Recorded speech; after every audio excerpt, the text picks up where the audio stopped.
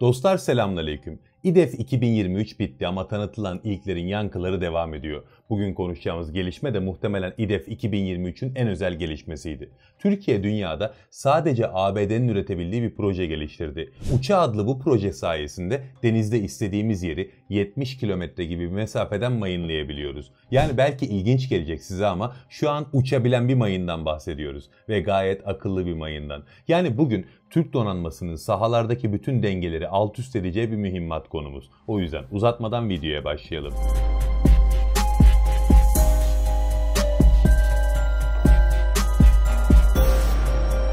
Deniz kuvvetlerimizle ilgili gelişmeler benim için son yıllarda en önemli gelişmelere döndü. Bu da elbette boşuna değil. Zaten Adalar Denizi'nde Yunanistan'la ciddi sıkıntılar yaşıyorduk. Son yıllarda bir de başımıza Doğu Akdeniz gerginliği çıktı. Hem bölgedeki ülkeler hem de dışarıdan gelen batılı aktörler Türkiye'yi hedef tahtasına oturttular.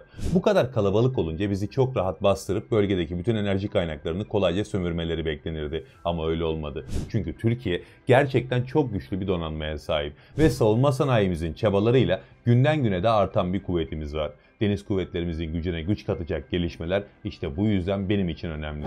Ve bugün konuşacağımız mühimmat da olayı çok çok farklı bir boyuta taşıyacak. Dünyada sadece ABD'nin geliştirdiği bir mühimmatın daha iyisini biz geliştirdik ve İDEF 2023'te bunun tanıtımı yapıldı. Bahsettiğim mühimmat uça. Türkiye'nin ilk uçaktan atılabilir güdümlü akıllı dip mayını. Türkiye'nin ilki olmasının yanında bir önemi de şu ki dünyada bunun tek örneği Amerika'da var. O da henüz tam anlamıyla seri üretime geçmiş bir proje değil. Birçok testi tamamlandı ve Amerikan ordusu siparişini verdi. Birazdan onu da konuşacağız. Ama önce yeni yerli mühimmatımızı konuşalım. Deniz mayınının ne olduğunu zaten biliyorsunuz. Gemi ya da denizaltılara hasar vermek için suya döşenen bir silah. Eski sistemde bu daha çok güçsüz devletlerin güçlü düşmanları kıyılarından uzak tutmak için kullandığı bir mühimmat türüydü. O zamanlar maliyetleri de düşüktü. Hatta şöyle söyleyeyim, deniz mayınını dökmek yani bir bölgeyi mayınlamak o bölgeyi mayından temizlemekten çok daha düşük bir maliyete sahipti. Bu mayınlar kullanım amacına ya da döküş tipine göre farklı farklı kategorilere ayrılıyor. Ama şu an meselemiz farklı olduğu için bu kısmı çok detaylandırmayalım. Deniz mayınlarının uluslararası hukukta da kullanımında herhangi bir sıkıntı yok. Sadece serseri mayın denilen yüzer mayınların kullanımı yasak. Bu da gayet doğal. Çünkü adı üstünde serseri mayın. Denizde yüzüyor ve rastgele çarptığı bir yerde patlıyor. Bunun askeri gemi, sivil gemi ayrımı yapma ihtimali elbette yok. O yüzden yasak olması gayet doğal. Bizim bugün konuştuğumuz uça için bu bahsettiğim kısıtlamalar elbette geçerli değil. Çünkü az önce bahsettiğim klasik mayınlardan çok farklı bir şeyden bahsediyoruz şu an. Ve Türkiye'yi buraya taşıyan aslında akıllı dip mayını Malaman projesi oldu. O yüzden önce o projeyi konuşup sonra uçaya gelmekte fayda var. Malaman projesi için sözleşme 2011 yılında imzalandı. Deniz kuvvetlerimizin akıllı dip mayını ihtiyacı bu projeyle karşılanıyor. Şimdiki zaman kullanıyorum çünkü artık seri üretim aşamasına geldi bu proje. Ve bu projeyle geliştirilen mayın savaş gemileri ya da denizaltı platformları tarafından istenilen bölgeye dökülüyor. Bir zincirle bağlı olduğu deniz tabanındaki ağırlıkta sabit şekilde bekliyor. Yalıtım malzemesi olarak bu mühimmatta cam elyaf takviyeli polyester kullanıldı. Bu en etkili akustik yalıtım malzemesi olarak kabul ediliyor ve üzerinde çok ciddi sensörler var. Bu mühimmat akıllı bir mühimmat. Zaten en önemli 3 özelliğinden biri akıllı olması. Üzerinde akustik, manyetik ve basınç sensörleri var. Bu sensörlerle uzaktan hedefi tespit ediyor, izlemeye başlıyor ve sınıflandırıyor. Eğer hedefin düşman gemisi olduğu belirlenirse patlama kararı otomatik olarak alınıyor. Yine önemli bir özelliği de bunun duyarsız mühimmat olması. Burada iş makine kimya ve TÜBİTAK SAGE'ye düşüyor. Duyarsız mühimmat dış etkilerle patlama ihtimali olmayan mühimmat demek. Yani malamana mermi çarpsa da mühimmat yangının içinde kalsa da patlamıyor. Gerçek patlayıcı etkisini sadece denize döküldüğünde gösteriyor ve tabii ki sadece kendi ateşleme sistemiyle.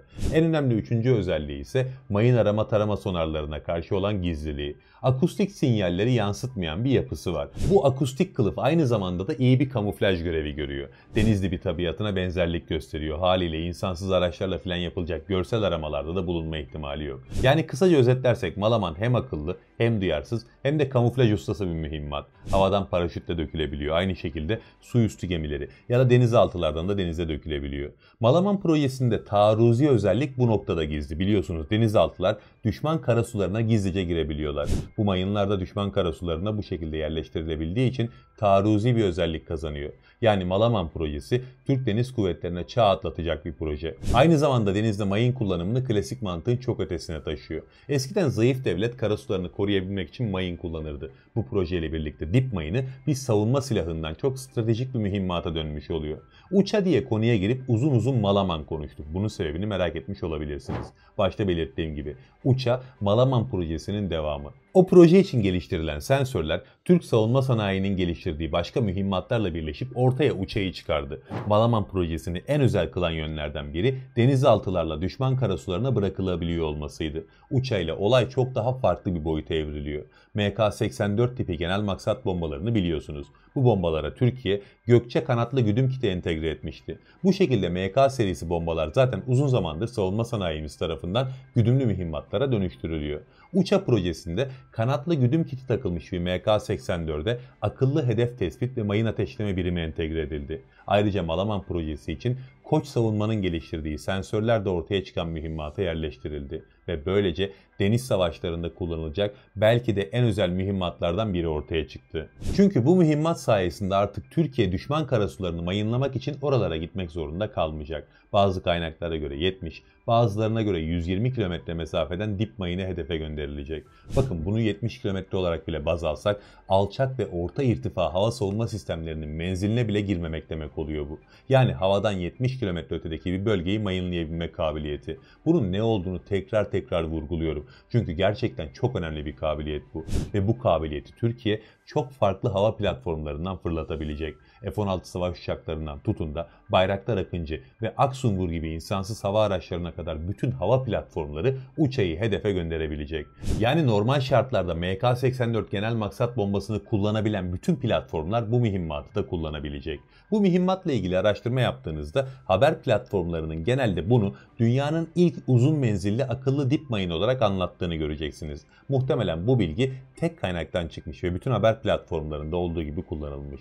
Ama bu durum çok da gerçek değil. Çünkü bunun dünyada bir muadili daha var. O da elbette ABD'de. Quick Strike Extended Range olarak geçiyor. Uçayla hemen hemen aynı özelliklere sahip. Sadece uçanın menzili daha yüksek. Henüz tam olarak seri üretime geçmedi ama Amerikan ordusu ilk siparişini verdi. Ve onlar bu mühimmatı F-35 ve B-52'lerden atacaklar. Zaten 2019'da yaptıkları ilk testte de F-35'ten fırlatmışlardı. Ayrıca bir F-35 iki tane Quick Strike taşıyabiliyor. Yani uça medyamızın verdiğinin aksine dünyada ilk değil ikinci olacak. Ama tabii ki böylesine gelişmiş bir mühimmatı dünyada yapan iki ülkeden biri olmak inanılmaz önemli bir olay. Çok ciddi bir güç çarpanı olmasının yanında ihracat potansiyelini anlatmama gerek yoktur muhtemelen. Ayrıca insansız hava araçlarımızda kullanılıyor olması zaten pazarını bir anda 8-10 kat büyütecek. Yani bugün konuştuğumuz konu gerçekten inanılmaz bir gelişme. Hani özellikle deniz kuvvetlerimizle ilgili bir gelişme olduğunda şimdi Yunanistan düşünsün deriz. Bu da Yunanistan'ı gözümüzde büyüttüğümüz için değil, denizde bir çatışma yaşama ihtimalimizin en yüksek olduğu taraf olduğu için kullandığımız bir ifade. Ama bu konuda durum onlar için çok daha vahim. Çünkü Türkiye bu mühimmatları envanterine kattıktan sonra olası bir çatışma halinde Yunanistan'ı gemi ya da denizaltılarla kendi limanlarından çıkamayacak hale getirebilir. Bu da gerçekten onların uykularını kaçırması gereken bir gelişme. Allah'a emanet olun.